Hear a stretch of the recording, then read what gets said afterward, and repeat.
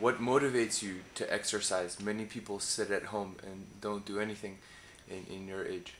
I think in order to keep yourself fit, it's daily exercise is very important.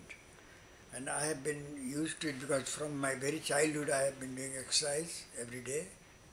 Some the day I don't do any exercise, I feel that I'm missing something. What advice would you have for old people? To have a very positive thinking about themselves, about their own body and strength. One shouldn't feel that you know I'm retired, uh, my, I'm old, things like that. Yes, you are old because time is running, but at the same time you must feel that as long as you live, you can remain active and you can contribute something to the society.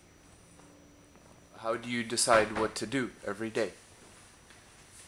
Well, the thing is that you have to plan, of course, you know, there are so, social gatherings, you have to meet people, you have to discuss something. Besides that, most of the time, I, you know, I try to write and read. The people in Nepal, the old people in Nepal, lead a miserable life. Many of those who have been neglected by their own family, uh, they, are in a very bad shape.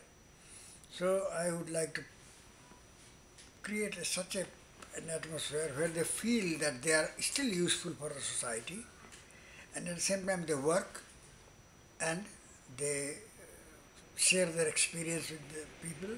They can write if they feel like that.